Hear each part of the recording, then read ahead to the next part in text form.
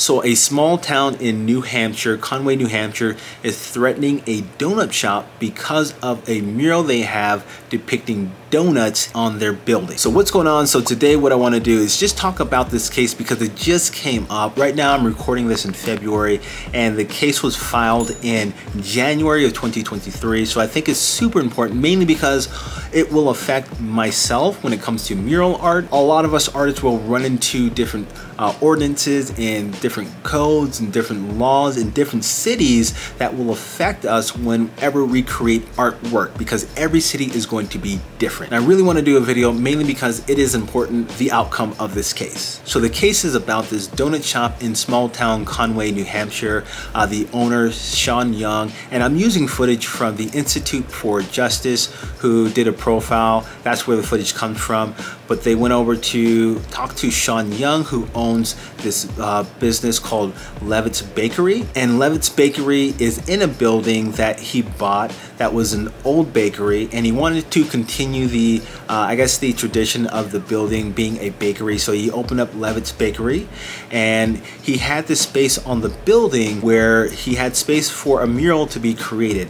So a local high school uh, art class reached out to him about painting a mural on that substrate, on that surface of the building. And what they came up with was a New England mountainscape and the mountains are comprised of donuts. So all the mountains are donuts. And that is the mural that is on the building right now. Everyone loved it. He loved it. The kids loved it. The community uh, apparently loved it, but the city did not. And that is because when code enforcement came around, they said he was in violation of the city ordinance when it comes to signs and mural. According to the city, they said it was a sign, not a mural. And that is because he had donuts depicted in the mural. And because he sells donuts, the mural became a sign rather than just artwork. So if this mural was on, let's say, a, a car maintenance shop, you know, a laundry mat, you know, a different Thai restaurant, or it could be an Italian restaurant,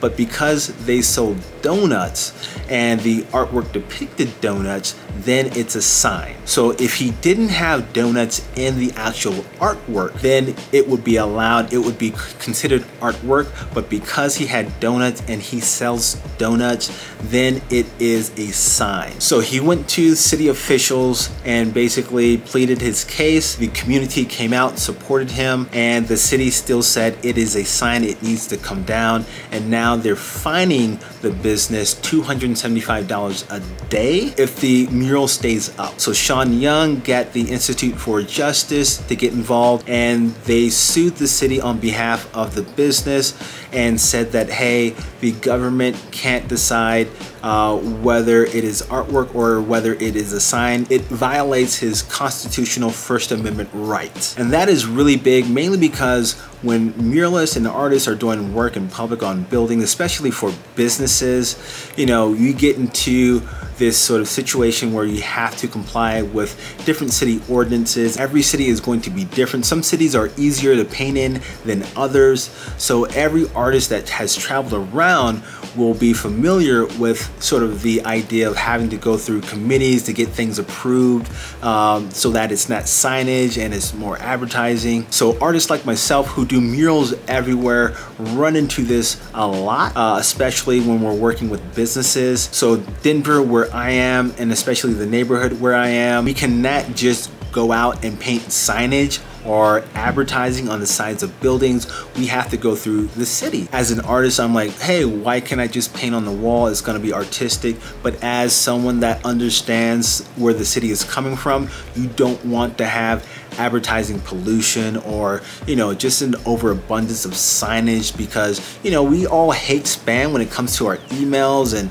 when it comes across our feed when we're on social media. You don't want that in your neighborhood uh, because if people can go through loopholes uh, when it comes to considering it artwork or murals and it's really just advertising for their business, then it becomes a murkier situation with the pollution of signage and advertising all over the place. So I do understand where both sides are coming from and I can see that especially being a muralist myself. And I'm always aware of what I put up on walls and where I put it up on walls and what is the intent of the mural itself. I don't want it to be an alcohol ad disguised as you know, a mural or something artistic when all it is is just really selling alcohol are selling any sort of product. In this situation, it seems like it's really in the middle where the owner of the business, Sean Young, who owns the donut shop, didn't tell the students or the kids what to paint. So for me, it's always a case by case basis. It's always subjective, but through the city's eyes and perspective, because the mural depicts donuts and the donut shop is in that building, then they consider a sign and consider it something that you would have to go through the city to get approved. So I'm really interested in learning more about the case and how it unfolds because this will have a profound effect, you know, depending on whether the city can't tell you what is and is that signage if it's a mural or they say hey the city can say this is a signage whenever they want to. Your constitutional first amendment rights weren't violated. So when there's updates on this case i really want to do another video um, just to share exactly what's happening because it is going to have like I said, a huge effect on my practice and many of your practices as well when it comes to doing murals and public art in your city and in other cities as well. In the description below, I'll have links to the Institute for Justice and sort of where I found some of these materials so that you can look more into it as well if you're interested in learning more about it. And then I will, like, like I said, I'll have updates as much as I can because it is going to be a really interesting um, sort of case when it comes to what happens to mural arts and what the city can and can't tell you what to paint. All right, like, subscribe, hit that bell notification, and I will see you next time. Peace.